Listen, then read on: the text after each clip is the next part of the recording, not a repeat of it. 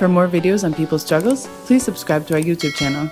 Hello and welcome to People's Dispatch. Today we have with us Eugene Puryear of Breakthrough News, and we're going to be talking about the United States elections, which are happening on the 3rd of November, the presidential elections, of course, also elections to the Senate, the House of Representatives, a lot, lot of local races and initiatives as well. Thank you, Eugene, so much for joining us. Oh, thank you so much for having me. It's always a pleasure. Right. Eugene, so first of all, maybe on a more personal note, uh, what do you call it? This is Breakthrough News, the first election that's covering. And I guess it must be difficult covering the election while not falling into the Trump versus Biden rhetoric that is just so all over uh, the media right now.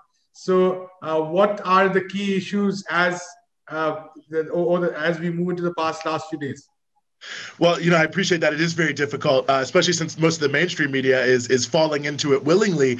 Uh, you know, I think there's a few issues that are big issues in the last few days. I think the biggest sleeper issue that we have no idea what the effect is going to be um, are the protests in Philadelphia, Washington D.C., uh, in Illinois, but especially Philadelphia, where there was a curfew, National Guard called out. Uh, you know, some so so-called looting. Now, you know, it hasn't really been played up in a big way in the mainstream media, but of course, the right-wing media and President Trump have been heavily pushing this. And, you know, they are really attempting to try to drive white, more middle class suburban voters to their banner by saying that the Democrats will unleash this total chaos. So it's very unclear how it's going to play, especially because the mainstream media is not talking about it. But it's been a major issue for Trump. Uh, and I think that's one issue that we should we should be looking at. You know, the second major issue going into this is the issue of when ballots can be counted. And we can, of course, talk more about that. But in a range of states, there have been three or four different opinions. The Supreme Court has said one thing about one state, another thing about another state. Now the Court of Appeals has gotten involved and said something different about Minnesota. So there is a huge amount of uncertainty about whether or not the record number of mail in ballots that are coming in, how many of them will be counted, how many of them will be thrown out. And as wild as this may seem, the decision for that may not actually even be known until after the election itself. So you could think your ballot counted and then have it thrown out a week later. So I think that's the second major issue. And then I think the third issue, of course, is coronavirus in a way. Um, you know, ultimately, the, the Democrats have really premised a huge amount of their campaign around the shambles of a response of the uh, the, the, the Trump administration wasn't just him, but he's the president. Um, in terms of addressing COVID 19. And I think that they've tried to build that into a broader narrative about competence, about compassion, about who Trump really is. And I think that as the cases, there's an increase in cases in 41 states here, a number of states are seeing the worst outbreak ever. I think this is also a big wild card issue that maybe two weeks ago, I don't know if it would have played as big a role, uh, but I think now really could, given how Trump has gotten coronavirus itself, for what Republicans need, which is for a large turnout on election day. It's mainly Democrats voting early uh, you know, is it possible that this would suppress the vote? That many conservative people might think, you know what, it's not even worth it. This guy Trump isn't even doing it. So I, I think there's many more issues than that, but I think those are the three issues that I feel are, are most likely to affect the race in a way that would make it different than what the polls show now. All right, Eugene. So uh, we'll first look at the question of uh, voting itself, whether your votes get even counted. And like you said, there have been court decisions in terms of Wisconsin, in terms of Pennsylvania. But there's also the issue of voter suppression at a more systemic level, which you talk to activists working on the ground. So could you maybe take us to in a bit detail into both these issues? Right now, what does it look like with uh, regarding the mail ballots? What are the crucial states where there's going to be a problem, and the larger voter suppression issue as well? Yeah, no, and I appreciate the question. Huge issue. Uh, you know, with the mail in ballots, the biggest question that is facing the country, and I know for many people worldwide, this may seem uh, amazing, but in America, there are no universal rules about voting. Every state makes individual rules. So, one of the biggest issues for mail in ballots, of course, is what happens if a ballot is postmarked by election day, but because the mail isn't working right or whatever it may be, your ballot doesn't get there until after election day. Now, some states just say, say, oh, forget it, too late, that's on you. But many states allow there for to be a small period. Some say three days, some say nine days, but something that where as long as the postmark on it that says you put this in by elect on election day or before election day, it can still be counted.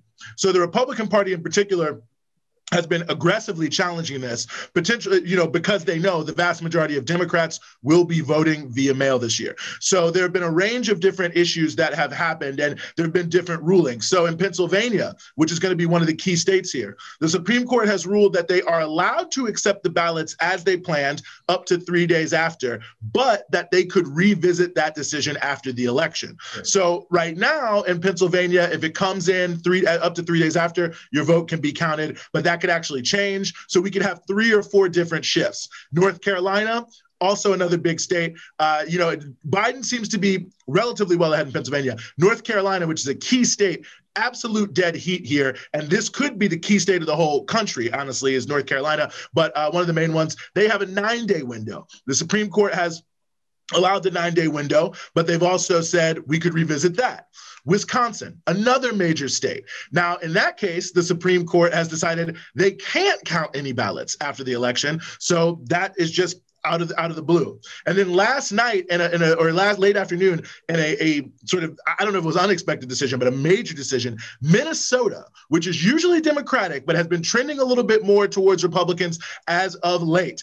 Uh, the Eighth Circuit Court of Appeals ruled that they cannot have a nine day window, which means that everyone who voted yesterday, and maybe many people who didn't see the story in the news and voted today, their ballots are now invalid. So we've got Minnesota, Wisconsin, Pennsylvania, North Carolina, uh, all states where are that are you know not maybe not all traditional battlegrounds but that are all sort of battleground states this year where there's been heavy campaigning that could be the major states where this comes out. Those states are all at a position where we don't even know what's going to happen because the rules could change. And right now it seems like it's trending in favor of democrats in pretty much all of those states but in most of those states it's very close. And so you know at 10,000 ballots here 5,000 ballots here 100,000 ballots there could make the election. And we could have three or four flip-flops uh, in the week after the election. So who knows?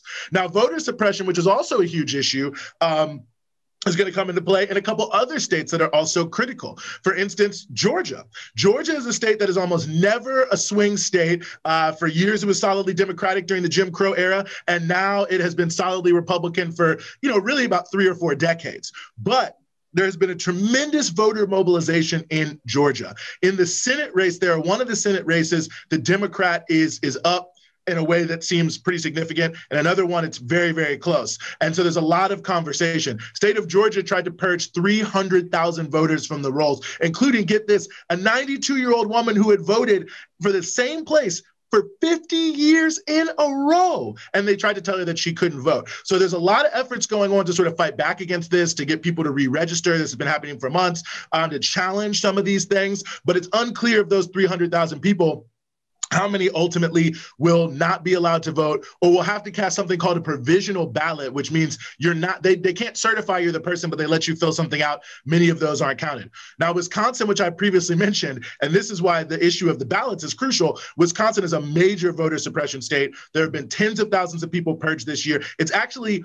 there's still some litigation going on around this so it's not clear. But to give you a sense of how wild voter suppression is basically what happens is they send you a card in the mail to say are you you a voter? Are you not? And you know, they're designed to look like junk mail and all these other things so that people won't either will miss it or just won't respond to it or whatever. And then they say that you're no longer there. A study was done by investigative reporter Greg Palast where they looked at thousands and thousands of these votes about did people really move?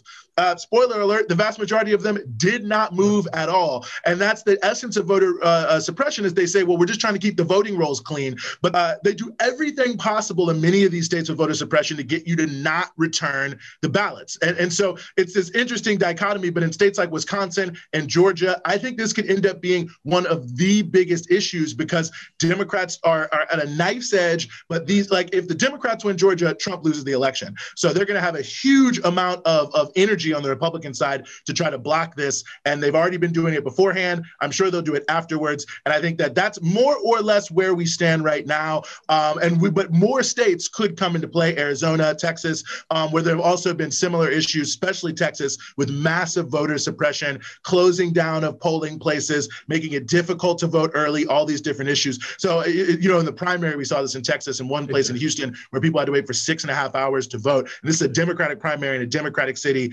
um, where they're trying for to help people vote. So it gives you a sense of the state of affairs. Absolutely. Right, Eugene, and I want to come back to a question we had actually discussed in one of our earlier conversations. So just to lay out the situation here, we have an election where, like you said, one state might tilt the entire balance. We have, we remember, say, Florida in 2000, where it was just 500 votes and a very dubious Supreme Court intervention which sealed the decision. And this time we have a president, of course, who's openly at various points been hesitant about committing to even respecting the results. So I believe a lot of experts have talked about a situation where uh, the results are not very clear on the date of the election. That's November 3rd, maybe even in the next couple of days. And there is a situation of chaos and anarchy. So what is the common consensus regarding the possibility of that? I think the common consensus right now is that there's going to be a contested vote. I think the only situation in which that that is likely to not happen is a blowout win um, on either side. But, uh, you know, it, it seems like the Democrats may win big in the sense of the number of votes, but that in a number of key states, like, for instance, North Carolina, it could be very, very close. And if it's close, that will, the, the I mean, Republicans have quite frankly already signaled that they are planning to challenge in a number of these states, certainly if the election is close, the validity of the election itself. So uh, it's certainly possible that the win could be so overwhelming for Biden. And the polls are certainly showing that could happen that Trump will just concede. I, I, think most people, myself included, are not banking on that because there's so many different variables to it here. And I think it's it's a it's a real just ball of confusion in terms of what happens. I think the key dates for people to recognize is this. If it's before early December, I believe the date is December 14th things could ultimately end up happening the way you'd expect, and there's a peaceful transition of power one way or the other. But since the popular vote in America does not matter, we have an electoral college, which means that the popular vote plays some role, but not a significant, not the ultimate role in determining who the electors will be from the various states who then come together and they elect the president. Now, the issue with that is you have to have a certified election results to then pick the electors to represent the person who won the state. But if the election is contested, then you can put forward, uh, both parties could try to put forward competing slates of electors. And then you're in almost uncharted territory about how that plays out. And, and that is, the, these are the sorts of scenarios where the Supreme Court will become involved. So I think it will certainly, we will not know election night. I think it's possible we will know in the week after the election. And, and not even improbable. But I think that there's definitely, it could be two or three weeks. But I think eh, you know the level of chaos will certainly depend on the length of time it takes i think most people are anticipating the longer it goes on the sharper the conflicts are going to be and it's unclear what sort of street politics will be happening uh, you mentioned 2000 of course republicans disrupted the vote count in florida in 2000 to do whatever they could to try to prevent um, you know, people for coming in uh, and doing uh, and being able to count the votes and do so on and so forth. So some of that is is expected too. So I would say the general consensus is going to be a contestation. I think most people consider the idea that we could have a, a true contested election, like you get to inauguration day and there's no consensus, to be a pretty outside chance. But I think if we get to that early December date and you can't certify electors in a number of different states and you have dueling electors, then the logic on both parties really becomes to maximalism and to do everything possible to win regardless. And there's no clear rules. That's the other thing. There's there's, there's no clear rules about what exactly happens here. So who knows exactly what's going to happen there? So I would say the consensus is we're going to have some level of contestation. It probably won't go beyond a week or two, and everything will end up being fine. Um, but that there is a very serious chance that some of these issues could really throw this thing into December, into January, and it's it's not impossible that we could reach January 20th, inauguration day in the United States, and there will be three people who have a claim for president uh, because in the U.S. Constitution, the, the Speaker of the House can become president if there's no consensus on January 20th. So you can have Nancy Pelosi, Joe Biden, and Donald Trump all with good claims. Right, absolutely. Uh, and Eugene, slightly changing track a bit. I mean, there's been a lot of talk about this being an unprecedented, a historic election, and you yourself have talked about how, uh, in another interview, about how that's that's a slightly dangerous way of looking at it. But I'd like to look at it from the other aspect, which is that this happens, of course, after some of the most historic waves of protests in the United States. Like you mentioned in your first answer, especially we're still seeing them in Philadelphia, we're still seeing them in Washington, D.C. And these have continued the demand for justice, the demand against police violence, and in a very organized fashion, these have continued across the country. So, how do you see uh, this mobilization sort of, uh, shall we say, maybe playing into this election and also continuing after this election so that we don't look at it purely in terms of uh, the four-year cycle as well, or the two-year cycle as well?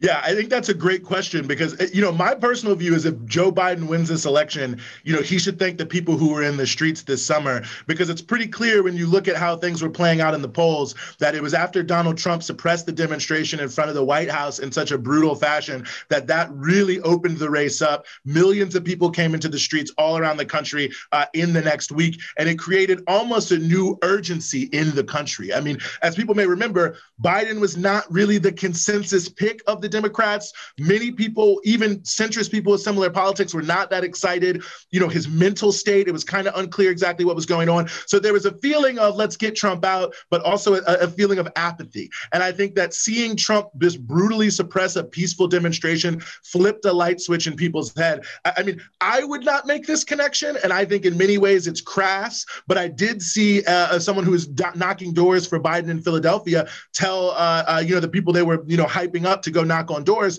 you know, we're knocking on a door to save a life. And that Donald Trump supporting the suppression of the demonstration shows we have to get rid of him. And I really do believe it'll never be written like this, probably until 20 years afterwards. But I really do believe that the mass movement and uprising against racism gave people a reason totally outside of Biden to come out and vote against Trump. And I think if you're someone who said, say, didn't vote in 2016, but did vote in 2012, you maybe don't love Biden, you didn't know exactly what you were going to do. You start to see stuff like that and you think, well, well, how can I just do something to this guy? I can vote him out, I can vote against him. And I think absolutely that's going to play a huge role in this election. And I think by and large, the election is not going to resolve anything uh, that was really put forward by these uh, protests, especially, I mean, when you look at the issue of policing, I mean, Biden is saying he's going to give $20 billion more to cops and basically give them the discretion on how to spend it. So he's going to give them $20 billion to allegedly address you know, issues in policing, but let the police address the issues. You know, every time he goes out, he says, why don't they just shoot him in the leg? Um, I mean, not only is that a shoot to maim mentality, but uh, not to be a marksman here, but it's also more dangerous. You're more likely to hit a bystander. So just the mentality behind that, that, yeah, don't kill him, just maim him and maybe, you know, hit a baby because you, you, the bullet ricochets off the street trying to hit someone in the knee, um, just gives you a sense of Biden is not really taking it that seriously. And that ultimately, most of his surrogates on the city level, the mayors, the council members, the congress people, are generally supportive of the police, have generally been supportive of these policies, and will continue to be so. So those contradictions on the sort of granular level will continue. And I think really the things that are driving people to be against Trump, whether it be climate change. I mean, Biden mentioned in the last debate he wants 50,000 charging stations. As the Financial Times, uh, I think it might have been The Economist, one of them um, mentioned, he actually has no plan for how to carry that out. Right. So there's a lot of things that they're saying they're going to address and saying they're going to do, but they don't have strong claims around them. Uh, you look at the issue of fracking, which has been big. Uh, you know, how's all these different things going to play out? Who knows? So most of the animating issues for why people hate Trump, poverty, income inequality, the lack of jobs, uh, low wages, fracking, the environment, climate justice, racial justice, policing.